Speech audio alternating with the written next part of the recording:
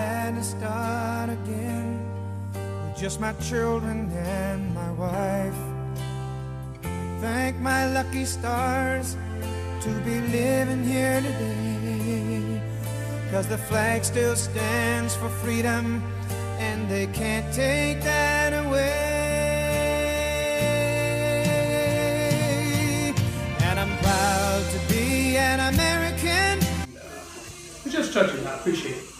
As a veteran serving my country, it's nice being served, so I appreciate it. Dr. Sanford, I just thank you. I appreciate it. I, I, I know that uh, that's something that's, you know, not often done, and it's, it's very appreciative for her to be able to take, take the time out of her day, uh, as well as her staff to, to, to, put on something like this for those that may not necessarily have this type of access to that type of stuff. So uh, I appreciate it thank you.